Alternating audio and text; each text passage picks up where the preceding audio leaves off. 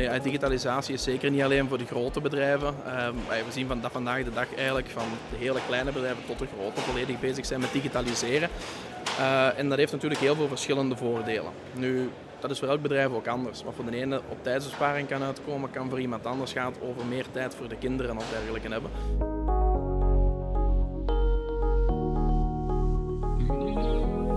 Wat we de laatste jaren ook heel veel merken is dat veel bedrijven het niet alleen doen om het zichzelf gemakkelijker te maken, maar ook om te professionaliseren.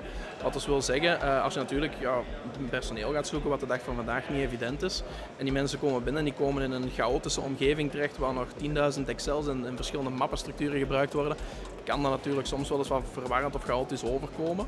Uh, en vandaar dat heel veel bedrijven ook bezig zijn met digitalisatie om wel naar ook nieuw personeel, maar ook uiteraard hun bestaand personeel te laten zien dat ze natuurlijk op een heel gestructureerde manier werken, dat dat allemaal leuk en vlot kan verlopen, dat dat niet chaotisch hoeft te zijn.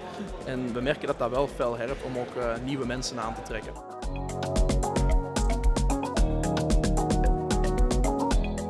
Ik kan me inderdaad nog een, eh, een verhaal herinneren van een goede twee jaar geleden, denk ik.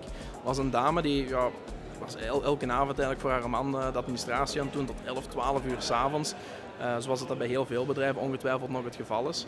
Um, omdat die ook gewoon niet beter wisten. En dan op een gegeven moment zijn we daar langs geweest, hebben wij de implementatie gedaan van ons software systeem Robhouse.